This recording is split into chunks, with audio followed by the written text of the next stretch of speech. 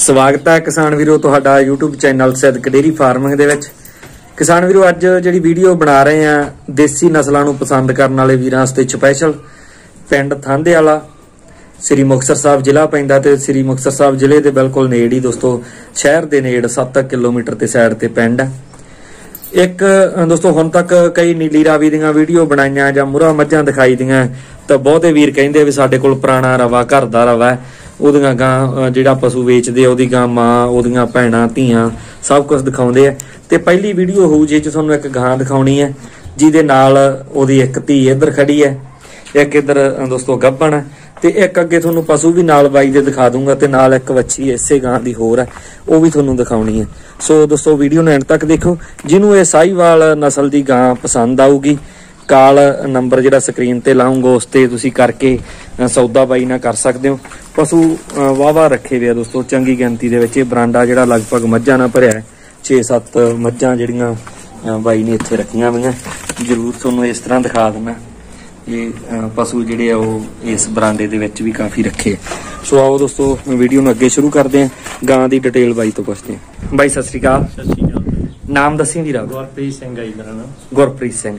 ਗੁਰਪ੍ਰੀਤ ਬਾਈ ਪਹਿਲਾਂ ਤਾਂ ਇਹ ਗਾਂ ਬਾਰੇ ਜਰੂਰ ਪੁੱਛਣਾ ਇਹ ਆਪਣੇ ਘਰ ਦੀ ਹੈ ਜਾਂ ਖਰੀਦੀ ਸੀ? ਹਾਂਜੀ ਇਹ ਘਰ ਦੀ ਹੈ ਜੀ ਆਪਣੀ। ਠੀਕ ਹੈ ਕਿੰਨਾ ਸੂਆ ਸੁਣਾ ਨੇ? ਇਹ ਚੌਥੇ ਸੂਏ ਸੂਗੀ ਜੀ ਹੁਣ। ਚੌਥੇ ਸੂਏ ਸੂਗੀ। ਤਿੰਨ ਨੇ ਪਹਿਲਾਂ ਤਿੰਨ ਸੂਏ ਸੂਈ ਆ ਤਿੰਨੇ ਹੀ ਬੱਚੀਆਂ ਦਿੱਤੀਆਂ। ਤਿੰਨੇ ਬੱਚੀਆਂ ਦਿੱਤੀਆਂ। ਅੱਛਾ ਇਹ ਜਿਹੜੀ ਇੱਧਰ ਵੱਛੀ ਇਹ ਫਿਰ ਪਹਿਲੇ ਸੂਏ ਦੀ ਹੈ ਬਾਈ? ਪਹਿਲੇ ਸੂਏ ਦੀ ਇਹ ਵੀ ਸੂਣ ਵਾਲੀ ਆ। ਇਹਦਾ ਕਿੰਨਾ ਕੁ ਚਿਰ ਰਹਿ ਗਿਆ ਸੂਣ ਚ? ਇਹਦਾ ਬਸ ਮਹੀਨਾ ਰਹਿ ਗਿਆ ਸੂਣ ਇੱਕ ਮਹੀਨਾ ਰਹਿ ਗਿਆ।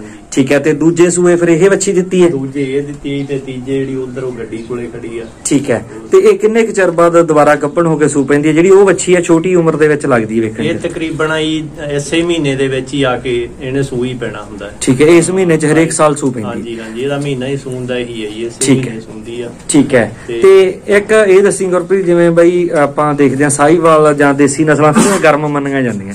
ਇਹ ਗਾਂ ਕਿਵੇਂ ਆ ਦੁੱਧ ਚਵਾਉਣ? ਇਹ ਇਸ ਤਰ੍ਹਾਂ ਹੀ ਜੇ ਖਰਾਬ ਕਰਦੀ ਨਹੀਂ ਤਾਂ ਆਪਾਂ ਪਹਿਲੇ ਸੂਈ ਕੱਢ ਦੇਣੀ ਸੀਗੀ। ਹਾਂ ਇਹ ਤਾਂ ਹੈ ਜੇ ਤਿੰਨ ਇਹ ਸੂਏ ਵੇਖੋ ਚੋਈ ਹੈ ਤੁਸੀਂ ਮੇਰੇ ਕੋਲੇ ਤਿੰਨ ਸੂਏ ਸੂਈ ਆ। ਠੀਕ ਹੈ। ਤਾਂ ਇਹ ਜ਼ਿਆਦਾ ਪਸ਼ੂ ਹੋਣ ਕਰਕੇ ਮੈਨੂੰ ਆਇਆ ਵੀ ਆਪਾਂ ਚਲੋ ਇਹਨੂੰ ਵੇਚ ਦਿੰਨੇ ਆ ਠੀਕ ਹੈ। ਬਾਕੀ ਦੀ ਧੀ ਆ ਉਹ ਸੂਣ ਵਾਲੀ ਹੈਗੀ ਆਪਣੇ ਕੋਲੇ। ਠੀਕ ਹੈ। ਹਾਂਜੀ।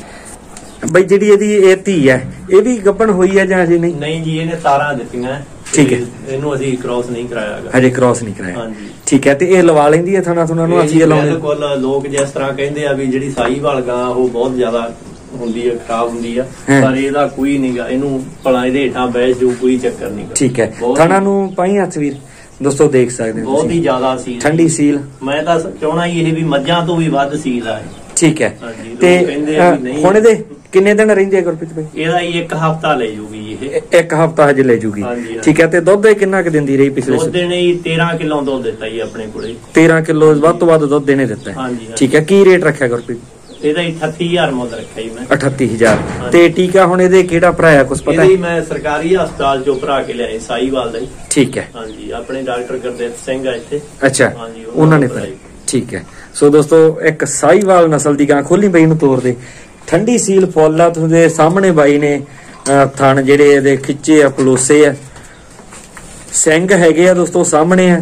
ਚਾਰ ਸੂਏ ਤਿੰਨ ਸੂਪੀ ਆ ਤੇ ਚੌਥੇ ਆਸਤੇ ਅੱਗੇ ਇਹ ਗੱਭਣ ਹੈ ਤੇ ਤਿੰਨਾਂ ਸੂਆਂ ਦੀਆਂ ਜਿਹੜੀਆਂ ਵੱਛੀਆਂ ਬਾਈ ਦੇ ਕੋਲ ਦੋਸਤੋ ਇੱਥੇ ਘਰੇ ਖੜੀਆਂ ਉਹ ਤੁਸੀਂ ਆ ਨਾਲ ਆ ਕੇ ਜਿਹੜਾ ਵੀਰ ਆਊਗਾ ਦੇਖ ਸਕਦਾ ਦਰਮਿਆਨੇ ਜੇ ਕੱਦ ਕਾਠਦੀ ਹੈ ਘਰੇ ਦੁੱਧ ਪੀਣ ਨੂੰ ਜੇ ਕੋਈ ਵੀਰ ਖਰੀਦਣੀ ਚਾਹੁੰਦਾ ਦੋਸਤੋ, ਪਸੰਦ ਤੁਹਾਡੀ ਆਪਣੀ ਹੈ ਜੋ ਚੀਜ਼ਾਂ ਮੈਨੂੰ ਲੱਗਦੀਆਂ ਸੀ ਉਹ ਸਾਹਮਣੇ ਬਾਈ ਤੋਂ ਪੁੱਛ ਲਈਆਂ, ਤਸੱਲੀ ਤੁਸੀਂ ਕਰਨੀ ਹੈ ਜਿਹੜਾ ਹਵਾਨਾ ਦੋਸਤੋ ਤੁਹਾਡੇ ਸਾਹਮਣੇ ਅਜੇ ਇੱਕ ਹਫ਼ਤੇ ਦੀ ਕੱਚੀ ਹੈ ਉਮੀਦ ਹੈ ਇੱਕ ਹਫ਼ਤਾ ਲੈ ਜੂਗੀ। 12 13 ਕਿਲੋ ਦੁੱਧ ਦੋਸਤੋ ਮੰਨ ਕੇ ਤੁਸੀਂ ਗਾਂ ਖਰੀਦ ਸਕਦੇ ਹੋ।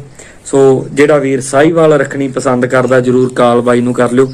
ਚੰਗੀ ਗਾਂ ਕਿਉਂਕਿ ਅ, ਘਰ ਦੇ ਵਿੱਚ ਬਾਈ ਨੇ ਦੋ ਤਿੰਨ ਸੂਏ ਇਹ ਇਹਨੂੰ ਚੋਇਆ ਹੋਇਆ ਸੋ ਘਰ ਦੀ ਵਹਿੜ ਇਹਨਾਂ ਨੇ ਵਕਾਊ ਕੀਤੀ ਹੈ। ਧੰਨਵਾਦ ਦੋਸਤੋ ਵੀਡੀਓ ਦੇਖਣ ਵਾਸਤੇ।